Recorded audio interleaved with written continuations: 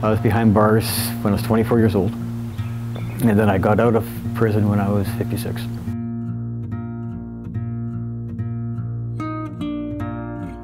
So I went to the bakehouse at 17. I'm telling you, it was a gladiator school.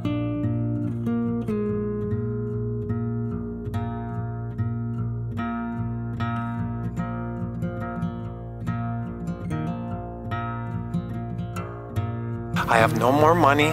The millions are gone. My family's gone.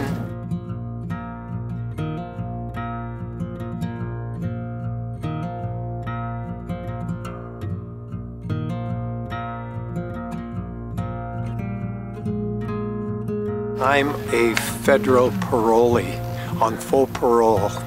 I started this sentence back in 1983. I got a life sentence from life 10. I miss my boys growing up. My life has been chaotic ever since I've been old enough to remember. A lot of shit happens in the joint, you know what I mean?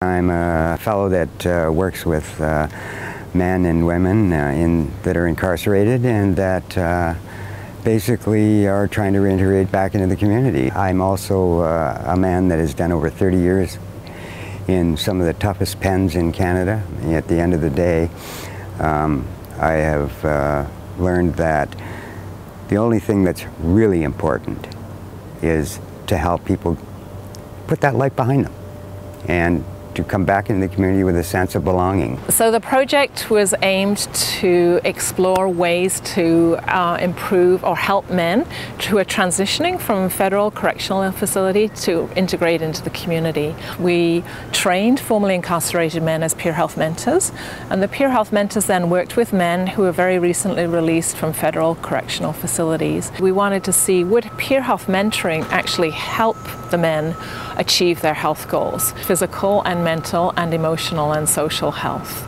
And would that ultimately help them in reintegrating in the community?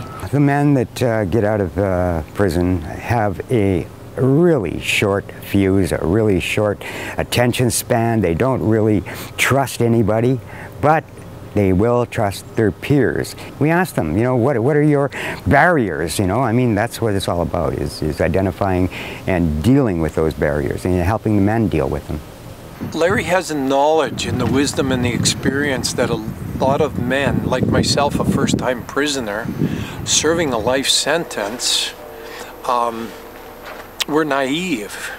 Um, we, we are puppets in the system and we don't know how to cooperate or collaborate. We're not talking people being locked up for weeks or months or even a few years. We're talking decades. They get out into the community, the community no longer exists to them. It's just not there. I mean, they have a, uh, a system of values that are completely wrong and that need to be changed and they need help with that. It's that simple. Being in for 32 years, you sort of become stagnant inside and you seem to follow the same routine here and there. So when I got out, a little bit jittery, well, more jittery than ever. So. And uh, with Larry's help, it helped me calm myself down and sort of send me in the right directions. Larry's been there, he's done this and done that. And it makes the transition a lot more better, a lot more smoother. My role with uh, uh, Dean was to be there for him. The day he got out, I took him on his cell phone. He didn't even know where to go. Who would know where to go after you've been locked up for 20 odd years? He had uh, serious problems finding a doctor. He had serious problems getting his medications. So if I could try to do something with Larry's help and try to change just a little bit, which would make quite a difference.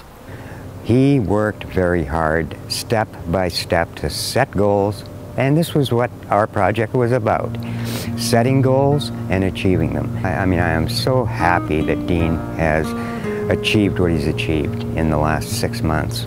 All the things that I'm trying to share with people now, I had to learn the hard way back in 88. I had nothing. They give me no support, no services, nothing. They just kicked me out with a few dollars in my pocket and says, hope, hope we don't see you again. I had to learn everything myself. How to go apply for a welfare, how to look for work, how to get a resume. What can you do without ID? You can't cash a check, you can't even go rent a room. You, can, you, there's so many things you can't do. An ex-convict is can relate better to another ex-convict, and they can look at me and I can look at them and know that where we are. You know, we've lived those experiences. Our common ground is our history. But that's what a peer is, somebody that's lived the life that I have and, and turn it into something good. It's not easy for guys that come from a background of being locked up for decades to get out and uh, say, hey, look, I need help. Because, you know, inside that's something that, uh, you know, guys just don't do.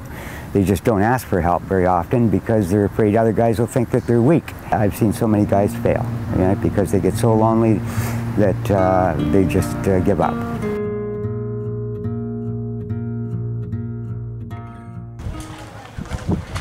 Larry and I are uh, becoming certified beekeepers.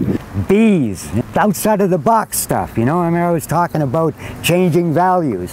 Well, there's a, a good example of it. It's part of the reintegration process, helping with counseling.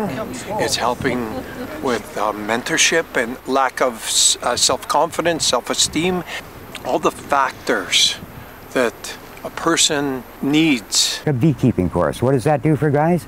Well, you know what, probably one in a thousand is going to go get a beehive and uh, raise bees. But you know what, they had a good time. They had fun. And fun is part of life. He keeps building me up. Even when I want to go back into my, what I've known for the last 14 years, three months, four days and 6.5 hours of incarceration. Give me hope.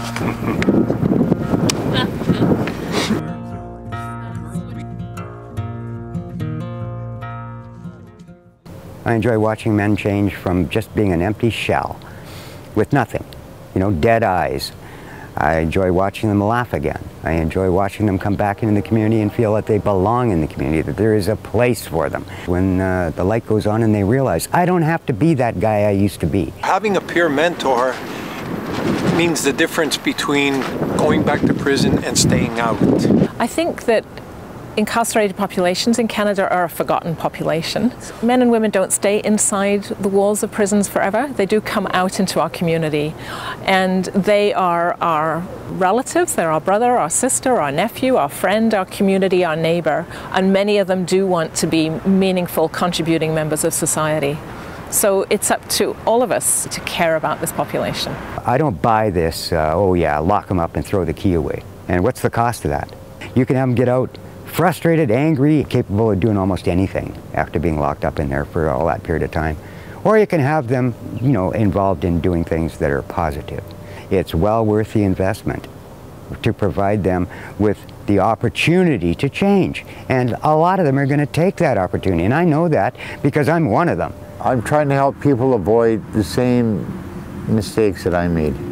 Oh, you're a bad person, you know good, you're a drug addict, you're a criminal, you know, good for society. But you know, I'm trying to prove them wrong. That people like us do have something to contribute. You can't change the past. All you can do is to, is to try and contribute and help people change their future.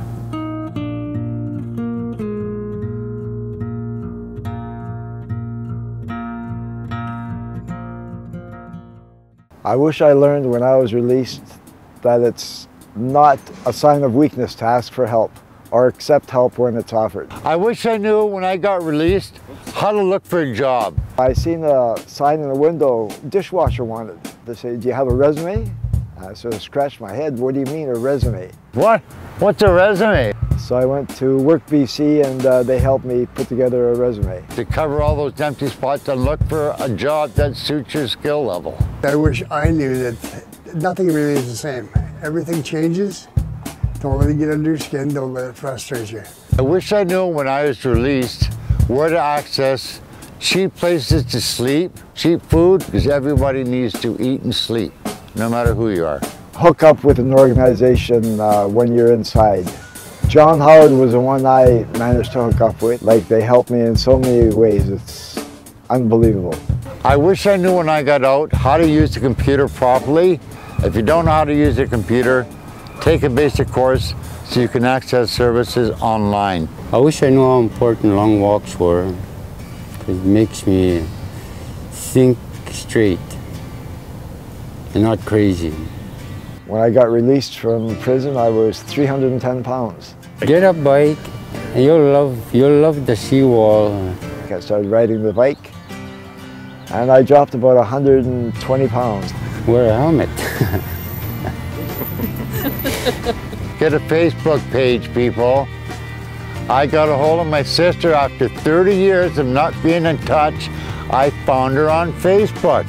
So get a Facebook page and you can probably hook up with old friends or family. The most important thing I've learned is to drop the jailhouse attitude and accept help when it's offered or ask for help. Turn your, your history into something good. Things can get better no matter what your life has looked like up till then.